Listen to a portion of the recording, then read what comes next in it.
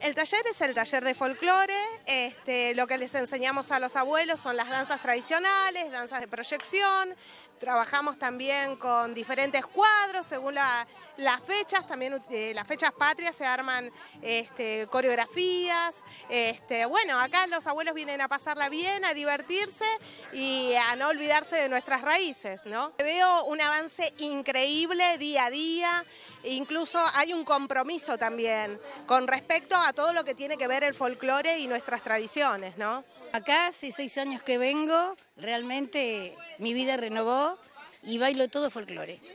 Y cuando puedo también estoy en la pileta y tengo buenos amigos. En mi vida me gustaba bailar y me baila hoy. El folclore lo aprendí acá, lo estoy aprendiendo, vamos a decir claro. Es muy lindo, me encanta todo lo que tengo. Mi compañera que caña es una maestra realmente lo mejor, este logrado. Requete bien, lo mejor que a mí me ha pasado de dos años que me retiré del trabajo, de jubilación, ¿viste?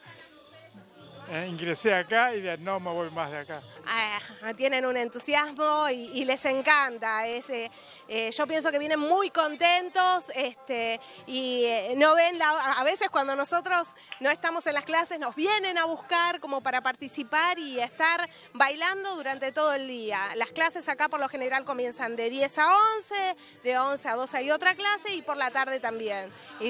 También compartimos un cancionero popular donde se, se cantan todos los temas de folclore.